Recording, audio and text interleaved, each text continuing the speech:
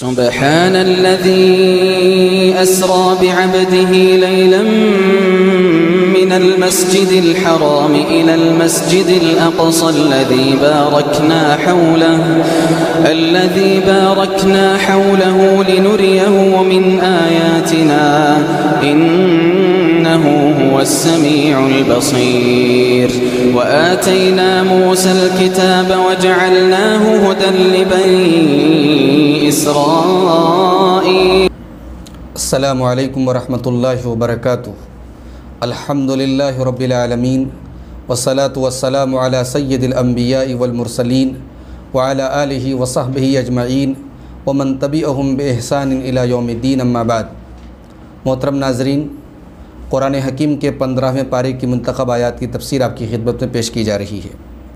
पंद्रहवें पारे में पहली आयत, यानी सुर बनी इसराइल की जो पहली आयत है, उसमें वाक़ मराज का तस्करा अल्लाह ताली ने किया। फरमाया सुबहान अल्लज़ी असरा बेअब्दिही लैलम मिनल मस्जिदिल हराम इलल मस्जिदिल अक्सा अल्लज़ी बारकना हौलहु मिन आयातिना इन्नहु हुवस समीउल बसीर।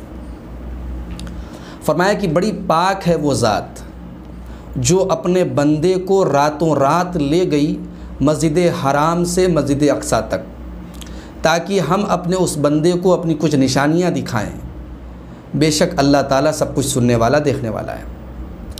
ये जो वाक़ मेराज है, ये अल्लाह रब्बुल आलमीन ने अपने प्यारे नबी सल्लल्लाहु अलैहि वसल्लम को जो मोज़े दिए या जिन कमालात से मुतसिफ़ किया, उसमें से एक ये सफ़र भी है कि अल्लाह के रसूल सल्लल्लाहु अलैहि वसल्लम को एक ही रात में मस्जिद हराम से मस्जिद अक्सा तक और फिर वहाँ से सातों आसमानों की सैर कराई गई। जन्नत व जहन्नम के मनाजिर आपको दिखाए गए, सिदरतुल मुंतहा तक आप गए और अल्लाह ताला ने आपसे कलाम किया और आपको तीन तोहफ़े भी दिए गए। तीन तोहफ़े आपको दिए गए। एक तो सुर फातिहा आपको मिली, दूसरे सुर बकरा की आखिरी दो आयतें मिली और तीसरा तोहफ़ा कि हर मुवहिद के लिए जन्नत की बशारत। आपकी उम्मत का हर वो शख्स जो तोहीद पर है, उसको इन अल्लाह ताला जन्नत में दाखिल करेगा। ये तीन तोहफ़े अल्लाह के रसूल सल्लल्लाहु अलैहि को मेराज की रात में मिले। इसके अलावा नमाज़ का भी हुक्म आपको, आपकी उम्मत को नमाज़ का हुक्म भी मिला। आप अलैहि वसल्लम जब इस सफ़र से आए और आने के बाद आपने सुबह जब मुशरकिन मक्का को और तमाम लोगों को बताया कि मैंने रात में ऐसा सा सफ़र मुझे हुआ तो मुशरकिन मक्का ने इसका इनकार किया। और कहा, ये कैसे मुमकिन है कि जो सफ़र करने के लिए हमको 40 दिन का टाइम लगता है 40 दिन आने में और 40 दिन जाने में, वो सफ़र आपने एक रात में करके, तय करके चले आए आप? तो उन लोगों ने इनकार किया। फिर कुछ लोगों ने अल्लाह के रसूल सल्लल्लाहु अलैहि वसल्लम को तंग करने के लिए कहा कि अच्छा अगर आप बैतुल मुक़द्दस गए हैं तो हमें बैतुल मुक़द्दस के बारे में ये बताइए, उसमें कितने खम्बे हैं, कितने दरवाज़े हैं, कितनी खिड़कियाँ हैं, कितने रोशनदान हैं। उन्होंने इस तरीके के सवाल किए जो अल्लाह के नबी सल्लल्लाहु अलैहि वसल्लम को याद नहीं थे। ज़ाहिर सी बात है कि आप बैतुल मुक़द्दस गए, आपने नबियों को नमाज़ पढ़ाई और उसके बाद आप वहाँ से चले गए। कितने सतून हैं, कितने दरवाज़े हैं, कितनी खिड़कियाँ ये तो आपने गिने नहीं। लेकिन अल्लाह ताला ने अपने नबी सल्लल्लाहु अलैहि वसल्लम की हक्कानियत को उन मुशरकिन पर साबित करने के लिए सही बुखा, सही मुस्लिम किताबुल ईमान की एक सौ बहत्तर नंबर की हदीस है। अल्लाह के नबी कहते हैं फ़रफ़ा अल्लाहली अल्लाह ताला ने बैतुल मुक़द्दस को मेरे सामने रख दिया फ़कानी अनजुर गोया कि मैं बैतुल मुक़द्दस को अपनी आँखों से देख रहा हूँ। मा यस अलूनी अनशई इन अम्बा अम्बात बिही बैतुलमक़दस के बारे में जो जो सवालात वो करते चले जाते थे, मैं उनको जवाब देता चला जाता था। तो इस तरीके से अल्लाह के नबी सल्लल्लाहु अलैहि वसल्लम ने उनको लाजवाब कर दिया। हालाँकि वो लोग फिर भी ईमान नहीं लाए। ये सफ़र आपने बुराक नाम की एक सवारी पर किया, जिसके बारे में अल्लाह के नबी फरमाते हैं वह हुआ दाबतन अबियस तवील फ़ौकल हिमारी वदून अलबगली ये एक चौपाया है जो सफ़ेद है, लंबा है और गधे से थोड़ा ऊँचा है, खच्चर से थोड़ा नीचा है यज़ हाफिर इन द मुंतहा तरफ़ ही और जहाँ तक इंसान की निगाह जाती है ताहद नज़र, वहाँ तक उस बुराक का एक कदम पड़ता था। उस पर आप सल्लल्लाहु अलैहि वसल्लम गए और जब आप आसमानों पर गए तो पहले आसमान पर आपकी मुलाकात हज़रत आदम से हुई, दूसरी दूसरे आसमान पर हज़रत यहया और हज़रत ईसा से हुई, तीसरे पर हज़रत यूसुफ से, चौथे पर हज़रत इदरीस से, पाँचवें पर हज़रत हारून से, छठे पर हज़रत मूसा से और सातवें पर हज़रत इब्राहीम अलैहिस्सलाम से आपकी मुलाकात हुई। उसके बाद सुर बनी इसराइल की आयत नंबर चार से लेकर के सात तक चार पाँच छः सात। चार आयतों में अल्लाह ताला ने बनी इसराइल पर अपने दो अजाब का तस्करा किया है कि दो मरतबा बनी इसराइल पर अल्लाह ताला का अजाब ऐसे तरीके से आया कि दो ज़बरदस्त कौमें और ताकतवर कौमों कौमों ने जो है इनके ऊपर हमला करके इनको मारा, पीटा, इनकी औरतों की आबरू लूटी, इनकी मस्जिदों पर हमला किया। आइए देखते हैं, अल्लाह ताला फरमाता है, आयत नंबर चार से लेकर के आयत नंबर सात तक। व कदईना इला बनी इसराइल फ़िल किताबी लतुफ़िदुल्न फ़िल अर्ज़ मर्रतैन वलतालुन कबीरा। हमने अहल किताब से हमने इन बनी इसराइल की किताब में ये हुक्म दे दिया था कि तुम ज़मीन में दो मरतबा फसाद करोगे और दो मरतबा तुम ज़मीन के अंदर गुरूर करोगे। फ़ैज़ा जा वाद उलाहुमा, और जब उनमें से पहली मरतबा तुम्हारे ऊपर हमारा अजाब आएगा बसना अलैकुम इबादल्लना उली बसिन शदीदिन तो हम तुम्हारे ऊपर अपने ऐसे बंदों को भेजेंगे। जो इंतहाई ताकतवर हैं। उली बसिन शदीदिन, जो बड़े लड़ने वाले हैं, फ़जासु खिलाल दियार, और वो तुम्हारे घरों में दाखिल हो जाएँगे। वकान वाद मफ़ूला, और अल्लाह का ये वादा पूरा होकर के रहेगा। सुम्मा रददना लकुमकर्रता अलहिम। फिर हम तुमको दोबारा गलबा देंगे, दोबारा तुमको ताकत देंगे। व अमददना कुम बे अमवाल व बनीन, और माल और औलाद के ज़रिए तुम्हारी मदद करेंगे। व जलना कुम अक्सर नफ़ीरा, और फिर तुम्हारी तादाद में हम इजाफ़ा करेंगे। इन अहसन तुम अहसन तुम अनफुसकुम, अगर तुम अच्छा अमल करोगे तो अपने लिए करोगे। व इन असा तुम फ़लहा, और बुरा अमल करोगे तब भी अपने लिए करोगे। फ़ैज़ा जा अवादुल आखिरती, और फिर जब दूसरी मरतबा हमारे अजाब का वक्त आया ले यसू वजूहकुम। तो हमने ऐसे दुश्मनों को तुम्हारे ऊपर मुसलत कर दिया, जो तुम्हारे चेहरों को बिगाड़ देते हैं। वले यदखलमस्जिद कमा दखलू अव्वल मर्रा। और तुम्हारी मस्जिद में जैसे पहली मरतबा दाखिल हुए थे, फिर तुम्हारी मस्जिद में दाखिल होते हैं। वले युतबिर माल तकबीरा। और जिस चीज़ पर उनका बस चलता है, उस चीज़ को तहस नहस कर देते हैं। हज़रत ईसा सलाम से के पैदा होने से तकरीबन 600 साल पहले, बुख्त नस्सर नाम के ईरान के एक बादशाह ने यरूशलेम पर हमला किया था और चूँकि उस वक्त जो है इन यहूदियों ने यशियाह नबी को कत्ल किया और यरमियाह नबी को कैद किया और बहुत सारे मासी और गुनाहों का इरतकब किया तो उसी की सज़ा के तौर पर 600 साल कबल मसीह, हज़रत ईसा के पैदा होने के 600 साल पहले अल्लाह ताला ने बुख्त नसर को इनके ऊपर मुसलत किया। उसने यरूशलेम पर हमला किया और बेदरेग इन्हें कत्ल किया, मस्जिद अक्सा को गिरा दिया, इनकी औरतों की आबरू रेजी की। उसके बाद जो दूसरी मरतबा अल्लाह का अजाब इनके ऊपर आया है, जब इन यहूदियों ने हज़रत ज़करिया को कत्ल किया, हज़रत ईसा को कत्ल करने की कोशिश की और एक रक्कासा, एक डांसर के कहने पर हज़रत यहया का सर कलम करवा दिया तो उस वक्त रूमी बादशाह टीटस को अल्लाह ताला ने इनके ऊपर मुसलत किया और ये तबाही सन सत्तर ईस्वी में हज़रत ईसा के पैदा होने के सत्तर साल बाद ये तबाही इनके ऊपर आई। तो जब किसी कौम की तबाही आती है, मोहतरम नाजरीन तो जो उनकी मस्जिदें होती हैं, जो उनका रूहानी मरकज़ होती हैं, उन पर भी टारगेट होता है। ये बात भी हम सबको याद रखनी चाहिए। उसके बाद आयत नंबर तेरह और चौदह में अल्लाह ताला ने ये फरमाया कि क़यामत के दिन हर इंसान का जो नाम आमाल होगा, वो हम उसकी गर्दन में लटका देंगे। वकुल्ल इंसान इन अलजमना होता इरहूफ़ी उनुक़ी। वनुखरजहू वनुखरज लहू यौमलक़ियामत किताब मनशूरा क़यामत के दिन हर इंसान का नाम आमाल हम उसके गले में टांग देंगे, उसके गले में लटका देंगे और क़यामत के दिन हम एक किताब उसके लिए निकालेंगे जिसको वो खुली हुई पाएगा। इकरा किताब का कफ़ा बिनफसी कल यौम का हसीबा। और अल्लाह कहेगा, तू पढ़ अपनी किताब, ये किताब इसका तू अपना हिसाब लेने के लिए तू खुद काफ़ी है। यानी अल्लाह ताला हिसाब नहीं लेगा, तेरी किताब तेरे हवाले कर दी अब तू देख ले कि तेरे नाम आमाल में नेकियाँ ज़्यादा हैं कि गुना ज़्यादा हैं। अल्लाह की तोहद है या शिरक है, अल्लाह की नाफरमानी है या अल्लाह की इतात है, ये तेरी किताब है, ये तेरा कच्चा चिट्ठा है तो खुद देख ले। उसके बाद आयत नंबर 18 और 19 में अल्लाह ताला ने फरमाया कि दो लोग होते हैं। एक दुनिया का तालिब होता है, एक आखरत का तालिब होता है। दुनिया के तालिब को हम दुनिया देते हैं, आखरत के तालिब को हम आखरत देते हैं। मगर दोनों की अलग अलग कंडीशन है। अल्लाह ने फरमाया, मन का नयूरीदुल आजिल तज्जल ना लहू फ़ीहा मा नशाउलिमन नूरीद। जिसको दुनिया चाहिए तो हम दुनिया देते हैं, मगर हम उतनी ही देते हैं माँ नशा जितनी हम चाहते हैं। ये नहीं कि आदमी दुनिया के तलबगार है तो बेहिसाब दुनिया मिलेगी। दुनिया उतनी ही अल्लाह देगा जितनी हम चाहते हैं, अल्लाह चाहता है।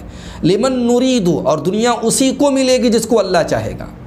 सुम जलना लहू जहन्नम यसलाहा मजमूम मदहूरा। और फिर वो आदमी जो दुनिया का तालिब था और आखरत से दूर था, वो जलील ख़ार होकर के जहन्नम में डाला जाएगा। वमन अरादल आखिरत मुमिन मशकूरा। और जो आखरत का तालिब होता है और आखरत की कोशिश करता है। वमन अरादल आखिरा, जो आखरत का इरादा करता है, मालूम हुआ पहली चीज़ नीयत सही होनी चाहिए अखलास होना चाहिए। व सालहा सायहा, और आखरत के लिए कोशिश करता है जो करनी चाहिए, यानी सुन्नत के मुताबिक अमल करता है, अपने मन से इबादत नहीं करता। और तीसरी शर्त वह हुआ मोमिन और ईमान वाला होता है। अल्लाह के यहाँ अमल के कबूल होने की ये तीन कंडीशन है मेरे भाइयों। नीयत सही होना सुन्नत के मुताबिक होना और ईमान वाला होना, ये तीन कंडीशन ना हो, कोई नेकी अल्लाह की बारगाह में कबूल नहीं होती। फ़लाइका का नसायुम मशकूरा। अल्लाह कह रहा है कि ऐसे लोगों की जो नेकी होगी, जो अमल होगा, उसका हमारे यहाँ पूरा पूरा बदला दिया जाएगा और उसकी पूरी कदर की जाएगी। उसके बाद आयत नंबर तेईस और चौबीस में वालदेन के एहसानात का तस्करा किया गया और उनके साथ उसने सलूक की तलकिन की गई। फरमाया वक़दा रब्बुका अल्लाह ताबुदू इल्ला बिलवालिदैन एहसाना तेरे रब का ये हुक्म है कि तू सिर्फ़ और सिर्फ़ उसकी इबादत करे और अपने वालदेन के साथ भलाई करे। इम्मा यबलुगन्नकल की बर अहदुमा औ किलाहुमा फ़ला तकुल्लहुमा उफ़्फ़िन वला तनहरहुमा वकुल्लहुमा कौलन करीमा। और तेरे वालदेन में से कोई एक या दोनों। पहले एक का ज़िक्र किया है। इसलिए कि दोनों रहते हैं तो एक दूसरे का सहारा रहते हैं। लेकिन अगर एक दोनों में से चला जाता है तो जो एक बचता है वो बड़ा बेसहारा होता है। इसलिए अल्लाह ने पहले उस बेसहारा का तस्करा पहले किया। इम्मा यबलुगन्ना इन दकल की बराहदुमा उन दोनों में से कोई एक, औ किलाहुमा, या दोनों अगर बुढ़ापे को पहुँच जाए, फ़ला तकुल्लहुमा उफ़्यूँ तो उनको तुम उफ़ भी न कहो। उनके साथ बदतमीज़ी करना, उनकी बात ना मानना तो बहुत दूर की बात अल्लाह ने कहा, उनको उफ़ भी मत कहो। वला तनहर हुमा उनको किसी बात पर झिड़कना नहीं, डांटना नहीं, ज़ोर से नहीं बात करना। वकुल्लहुमा कौलन करीमा, और उनसे अदब के साथ बात करना, तमीज़ के साथ बात करना। वक़फ़ लहुमा जना रहमा, और अपनी रहमत के बाजुओं को उनके लिए बिछा दो, रहमत के परों को उनके लिए बिछा दो। यानी जिस तरीके से परिंदा अपने बच्चों के लिए अपने परों को बिछा लेता है, उस तरीके से अपने वालदेन के लिए अपनी रहमत के बाजुओं को बिछा दो। वक़ुर रब्बिर हम हुमा कमा रब्बयानी सगीरा, और ये दुआ करते रहो कि हमारे परवरदिगार तो मेरे वालदेन पर रहम फरमा, जिस तरह बचपन में उन्होंने मुझ पर रहम किया और मेरी परवरिश की। उसके बाद आयत नंबर 26 और 27 में फजूल खर्ची करने वालों की वईद, उनके ऊपर वईद की गई। फरमाए वला तो बज़िर तबज़ीरा इन्नलमुबद्दिरीन कानू इखवान शयातीन वकान शैतान रबी कफूरा। तबज़ीर मत करो। एक होता है इसराफ। इसराफ कहते हैं नाजायज़ इसराफ का मतलब होता है जायज़ जगह पे हद से ज़्यादा खर्च करना। और तबज़ीर कहते हैं नाजायज़ जगह पे पर खर्च करना। जायज़ जगह पे अगर आप एक का पाँच खर्च कर रहे हैं, ये इसराफ है, लेकिन नाजायज़ जगह पर आप एक रुपया भी खर्च कर रहे हैं, वो तबज़ीर है। अल्लाह ने यहाँ तबज़ीर से मना किया है। ये फजूल खर्ची नहीं है, ये हराम है कि आदमी जो है शराब पर पैसा लुटाए, डांस पर पैसा लुटाए, हराम कामों पर पैसा लुटाए। वाला तो बज़र तबज़ीरा, हराम जगहों पर अपना पैसा खर्च मत करो। ये देखिए, तबज़ीर जो है, ये बज़र से बना है। बज़र के माने होते हैं बीज। ज़ाहिर सी बात है कि बीज को अगर सही जगह न डाला जाए तो पैदावार नहीं होगी। तो गोया कि माल को हम गलत जगह खर्च करके माल को बर्बाद कर रहे हैं। और इसीलिए कहा कि तबज़ीर करने वाले शैतान के भाई शैतान के मिशन में साथ दे रहे हैं, शैतान के, का सपोर्ट कर रहे हैं। आगे आयत नंबर 31 में 31 में अल्लाह ताला ने औलाद के कत्ल से मना किया। फरमाया, वला तकतुलु औलादकुम मिन इम, वला तकतुलु औलादकुम खशियत इमलाक, नहनु नरजुकुहुम व ईयाकुम इन कत्लहुम कान खितअन कबीरा। ख़बरदार अपनी औलाद को फाका कशी के डर से कत्ल मत करो। इस डर से कि वो तुम्हारे साथ खाएगी। तुम्हें खिलाना पड़ेगा, तुम्हें उसका इंतज़ाम करना पड़ेगा। नहीं। नहनु नरजुकुहुम व ईयाकुम उन्हें भी रोज़ी हम ही देते हैं, तुम्हें भी रोज़ी हम ही देते हैं। इन कत्लहुम कान खितवन कबीरा, व औलाद को कत्ल करना बहुत बड़ा गुना है। जो परमानेंट, जो हमल को रोकने वाली चीज़ें हैं, वो याद रखिए, हराम है। इल्ला ये कि बहुत मजबूरी हो, औरत की ऐसी क्रिटिकल केस हो जाए कि डॉक्टर कहें कि अगर ऑपरेशन नहीं कराया गया, नहीं बंद किया गया तो इनकी जान को ख़तरा हो सकता है तो अलग बात है। वरना नॉर्मल केस में नसबंदी करा लेना या परमानेंट जो है मने हमल का कोई रास्ता अपनाना, ये हराम है। हाँ वक्ती और आर्जी तौर पर कोई चीज़ अपना ली जाए तो जायज़ है। लेकिन उसमें भी ये नीयत ना हो कि औलाद पैदा होगी तो हम उसको खिलाएँगे क्या? यहाँ अल्लाह ने उसका फ़लसफ़ा बयान कर दिया कि औलाद को खिलाने वाले तुम नहीं औलाद को खिलाने वाला अल्लाह है। उसके बाद आयत नंबर 32 में, आयत नंबर 32 में अल्लाह ने जना के करीब भी जाने से मना किया। फरमाया, वला तकरबुजना इन्नहू का नफ़ाहिशतसा सबीला। जना के करीब भी मत जाओ। ये इंतहाई फहश काम है और बुरा रास्ता है। जना तो जना है ही है, जना के करीब ले जाने वाली मर्द जन का अख्तलात जना के करीब ले जाने वाली औरत की बेपर्दगी, जना के करीब ले जाने वाली औरत के बेहुदा लिबास, ये तमाम चीज़ें वाला तकरब उस जना के अंदर आ गई और माशरे को जब तक इन तमाम चीज़ों से पाक नहीं किया जाएगा माशरा कभी जना से पाक नहीं हो सकता। उसके बाद आयत नंबर 36 के अंदर अल्लाह ने फरमाया कि कोई भी बात कहो तो तहकीक कर लिया करो। वला तकफ़ुमा लईसलकबिही इल्म इन समा वल बसर वल फ़ुआद कान अनहु मसूला ऐसी चीज़ के पीछे मत पड़ो जिसका तुम्हें इल्म ना हो। बहुत सारे ऐसे मैसेज वायरल होते रहते हैं। हदीस के नाम पर हदीस नहीं है। कभी कभी हँसी आती है। अभी देखिए कोरोना के बारे में एक मैसेज बहुत वायरल हुआ था। किसी लड़की की आवाज़ में कि भाई कोरोना से हमें मत डराओ, हमारे कुरान में कोरोना का ज़िक्र आया है और फिर उसमें जो कुरान की आयत हाईलाइट करके आई थी इन कारूना कारून का जो नाम है उसको कोरोना बना दिया गया या कहीं कहीं कुरान में अल कुरून आया है, कुरून के माने बस्तियाँ या ज़माने, उसको लोगों ने कोरोना बना दिया अस्तफ़िरल्ला तो आदमी को जिस चीज़ की नॉलेज ना हो, जिस चीज़ की मालूम ना हो, उस चीज़ के पीछे नहीं पड़ना चाहिए। वला तकफ़ुमा लई सलक बिही इल्म। नॉलेज हासिल करो, उसके बाद उस मैदान में आओ। आदमी हदीस के मैदान में नहीं है, हदीस की महारत नहीं रखता और हदीसों की सेहत और ज़ोफ़ के फ़ैसले कर रहा है। आदमी उसूल फ़िक नहीं जानता, हदीसें नहीं जानता कुरान की तफसीर नहीं जानता और फतवे दे रहा है। वला तकफ़ुमा लई इल्म। जिस चीज़ की तुम्हें नॉलेज ना हो, उस चीज़ के पीछे मत पड़ो। इन समा वल बसारा वल फ़ुआद मसूला। अल्लाह के यहाँ तुम्हें कान का भी हिसाब देना है, अल्लाह के आँखों का भी हिसाब देना है, अल्लाह के यहाँ दिल का भी हिसाब देना है। उसके बाद आयत नंबर चौवालीस में फ़ोटी फ़ोर में अल्लाह ने एक बात ये बताई कि कायनात की हर चीज़ अल्लाह की तस्वीर बयान करी। फरमाया वलअर्दु वमन फीहिन्न व इम शैइन इल्ला युसब्बिहु बिहम्दिही वलाकिन ला तफक़हून तस्बीहहुम इन्नहु कान हलीमन गफूरा। सातों आसमान और ज़मीन और ज़मीन व आसमान की तमाम चीज़ें रब्बुल आलमीन के लिए तस्बी करती हैं और हर चीज़ उसके उसकी हमदो सना बयान करती लेकिन तुम उसकी तस्बी को नहीं समझ सकते। हज़रत दाऊद अलैहिस्सलाम के बारे में अल्लाह ने सूर्य सात के अंदर फरमाया, इन्ना सखर नल जिबाल माहू युसब्बिहन बिलाशी वल इशराक हमने हज़रत दाऊद के लिए पहाड़ों को मुसखर कर दिया, जो सुबह शाम उनके साथ तस्बी बयान करते थे। हज़रत दाऊद अलैहिस्सलाम अपनी खूबसूरत आवाज़ में अल्लाह की तस्बी बयान करते थे तो पहाड़ भी उनके साथ अल्लाह की हमदोसना बयान करते थे। पत्थरों के बारे में अल्लाह ने बकरा में फरमाया व इन मिनहा लमाया बितुमिन कुछ पत्थर ऐसे होते हैं जो अल्लाह के डर से झुक जाते हैं।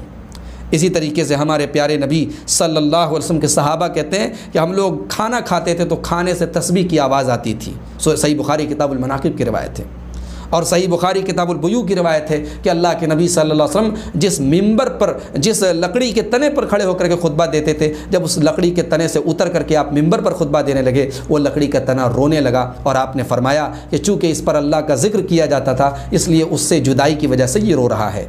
मोहतरब नाजरीन, इसका मतलब कि इन तमाम चीज़ों के अंदर एक किस्म का सेंस होता है और अल्लाह की तस्वीर ये कायनात की तमाम चीज़ें बयान करती हैं। ये अलग बात है कि हम उसको समझ नहीं सकते और हमारा जहन वहाँ तक नहीं जा सकता।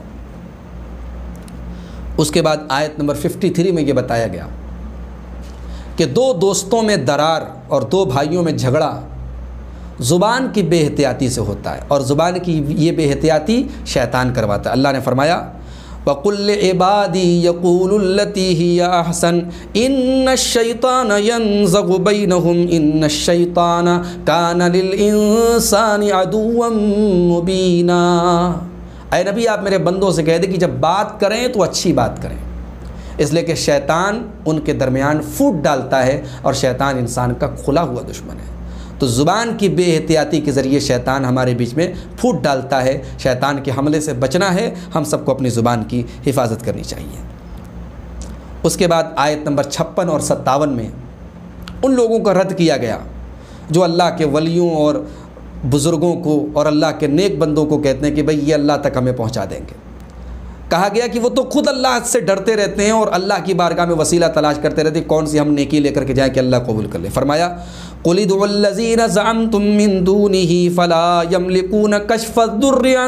फ़ला तहवीला।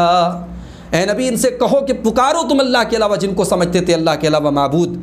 लेकिन वो तुम्हारी कोई तकलीफ़ दूर नहीं कर सकेंगे और न ही तुम्हारे दुख को कभी सुख में बदल पाएँगे। उलाइकल्लज़ीन यदून यबतगून इला रब्बिहिमुल वसीला। अरे ये अल्लाह को छोड़ करके जिनको पुकारते हैं, जिन अल्लाह के नेक बंदों को तो खुद अपने रब का वसीला तलाश करते रहते हैं। अयुहम अकरब व यरजून रहमत रहमत व यखाफून अजाबा। वो तो खुद इस उम्मीद में रहते हैं कि हम कैसे अल्लाह का तकर्रब हासिल करें और अल्लाह की रहमत की उम्मीद लगाते हैं और अल्लाह के अजाब से डरते हैं। इन अजाब रबी का कान महजूरा। बेशक तेरे रब का जो अजाब है, वो ऐसा है कि उससे डरना चाहिए और उससे लोगों को बचना चाहिए।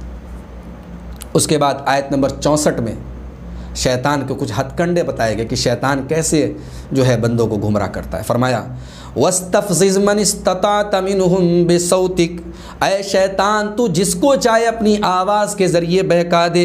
वह अजलिबाम बेखैली का व रजिली का और तू जिसको जिसके ऊपर चाहे अपने प्यादों को ला के चढ़ा दे, अपने सवारों को ला करके चढ़ा दे। यानी अपनी फ़ौज के ज़रिए तू मेरे बंदों को, जिसको चाहे तू बहकाने की कोशिश कर।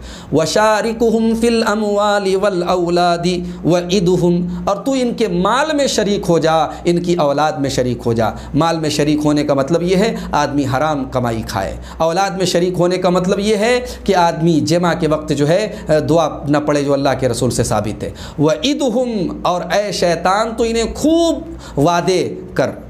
तो इनसे खूब वादे कर, इन्हें खूब उम्मीदें दिला। वमा यदुहम शैतान इल्ला गुरूरा। और शैतान जो वादे करता है, वो धोखे दड़ी वाले वादे होते हैं, वो झूठे वादे होते हैं। यहाँ जो शैतान की आवाज़ का बात की बात कही गई, शैतान अपनी आवाज़ के ज़रिए लोगों को गुमराह करता है। इस आवाज़ से मुराद, बहुत सारे मुफसरी ने लिखा है कि म्यूज़िक है, मौसीकी मौसीकी जो है, बहुत सारे लोगों को बहुत अच्छी लगती है। वो दरअसल शैतान की एक आवाज़ है, इसके ज़रिए शैतान लोगों को गुमराह करता है। उसके बाद आयत नंबर सेवेंटी वन में ये बताया गया यौमन बे इमाम क़यामत के दिन हम तमाम लोगों को उनके इमाम के साथ बुलाएँगे। फ़मन ऊतिया किताब बेयमीन ही तो जिसका नाम यामाल उसके दाहिने हाथ में दिया जाएगा। फ़लाकरऊन किताब तो वो क़यामत के दिन अपनी किताब पढ़ लेंगे। वलायुज़लमून फ़तीला। और ज़रा सा भी उनके साथ जुल्म नहीं किया जाएगा। यहाँ इमाम के साथ बुलाएँगे का क्या मतलब है? क़यामत के दिन हम तमाम लोगों को उनके इमाम के साथ बुलाएँगे। अल्लामा इबन कसीर रहमतुल्लाह अलैह लिखते हैं, तफसर इबन कसीर के अंदर, कि इमाम के बारे में तीन अकवाल है। पहला कौल मुजाहिद और कतादा का है कि इससे मुराद नबी हैं, कि क़यामत के दिन हम तमाम लोगों को उनके नबी के साथ बुलाएँगे। जैसे अल्लाह ने दूसरे मौके, जगह सुर यूनुस के अंदर फरमाया, वल कुल उम्मतिन रसूल फ़ैज़ा जा रसूल हम कुदिया बिन बिलक़स्त हर उम्मत के जब रसूल क़यामत के दिन आएँगे तो इंसाफ के साथ उनके दरमियान फ़ैसला कर दिया जाएगा।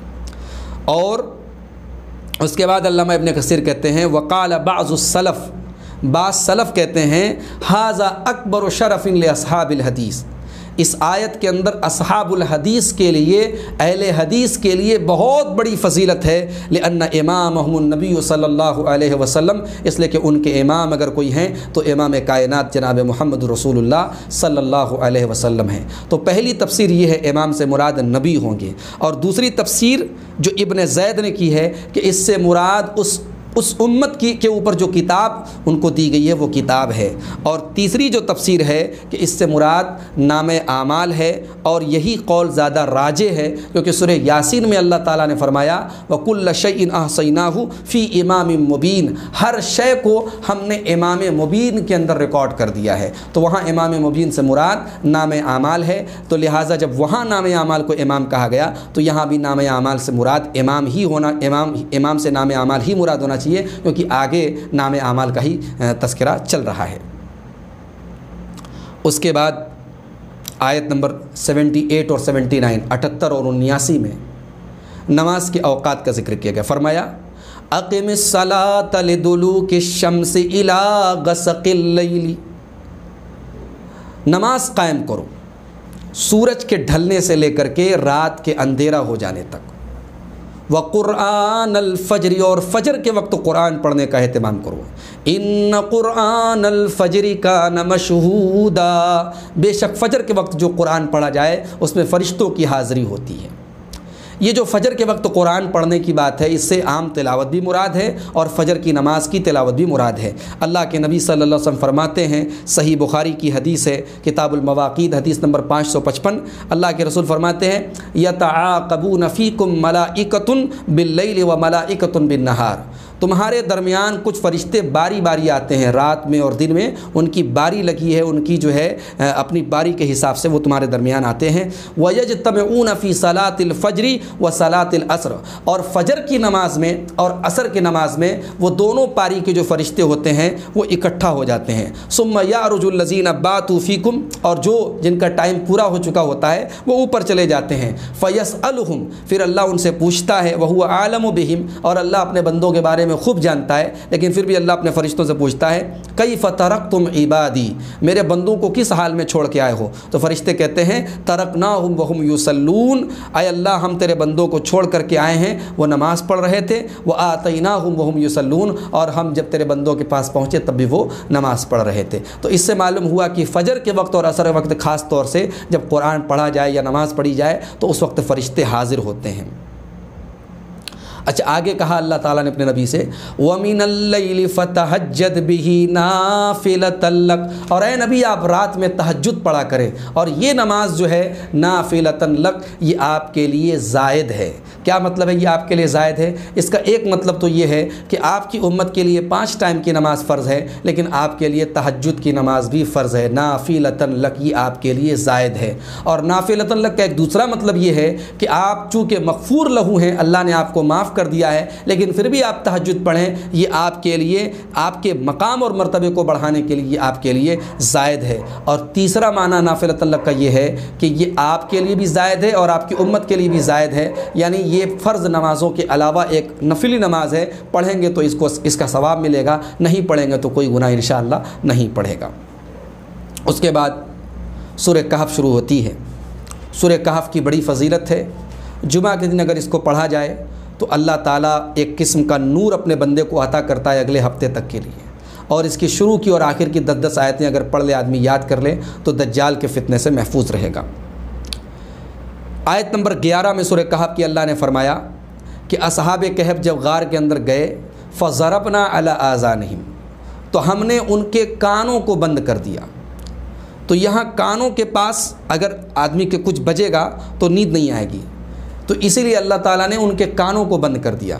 और इसीलिए शैतान भी सुबह जब इंसान को फजर की नमाज़ से रोकना, रोकता है तो कान के अंदर पेशाब करता है। तो नींद का कान से बड़ा गहरा कनेक्शन है। अगर इंसान के, कान के पास जो है कोई शोर होता है तो उसकी नींद डिस्टर्ब हो जाती है। इसीलिए अल्लाह ने फरमाया फ़रब न अला आज़ानिम हमने उनके कानों को बंद कर दिया।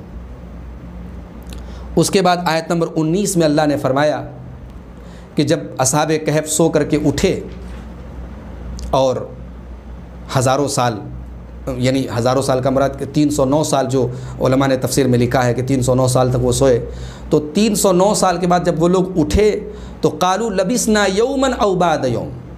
आपस में कहने लगे, हम लोग कितना सोए? तो किसी ने कहा उनमें से कि हम लोग एक दिन या थोड़ा सा दिन का एक हिस्सा सोए हैं। इससे मालूम हुआ कि जो सोया है, उसको ये पता नहीं कि हम कितनी देर तक सोए तो जो मर चुका है, जो कब्र में जा चुका है, उसको कैसे मालूम कि कौन हमारे पास आ रहा है और वो कैसे लोगों की बिगड़ी बनाएगा? तो ये कब्र परस्तों के ऊपर कुरान करीम की आयत रद्द है। उसके बाद आयत नंबर 22 में अल्लाह ने फरमाया कि उनकी तादाद के बारे में लोग इख्तलाफ करते हैं। व यकूलूना खमसतुन सादिसहम कल्बुहम। कहते हैं, वो पाँच थे और छठा उनका कुत्ता था। व यकूलूना सबअतुम व कल्बुहम।